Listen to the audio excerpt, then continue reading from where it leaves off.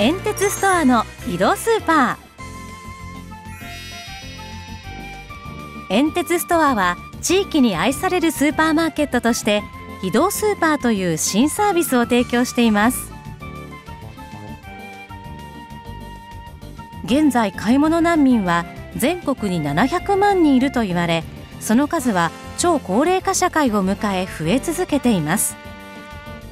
そのため最近ではネットスーパーやお弁当の宅配などの利用が増えていますがインターネット環境がない方宅配は飽きてしまう。注文が面倒などのお悩みもあることから移動スーパーが注目されています。それでは移動スーパーのサービスについて詳しく紹介します。煙鉄ストアの移動スーパーではこのような冷蔵ケース付きの専用車両に生鮮品お惣菜パンやお菓子そして日用品など幅広い種類の商品を積み込んで販売場所に向かいます。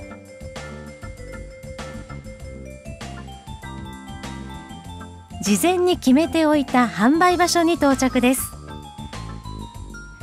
販売時間は10時から16時半頃まで。ご自宅の前や集会所など決まった時間に伺います。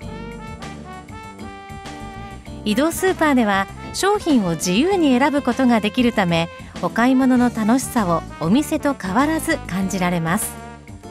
販売パートナーから商品の説明を聞いたり反対に販売してほしい商品をリクエストすることもできより楽しくお買い物をしていただけます。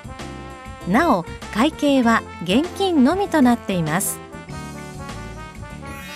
煙鉄ストアの移動スーパーはお買い物を便利にするだけでなく地域の方に笑顔を届けています。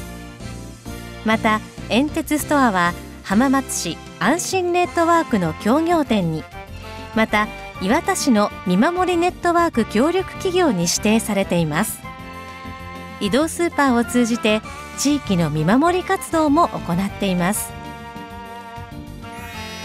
お買い物がますます便利になる煙鉄ストアの移動スーパーです。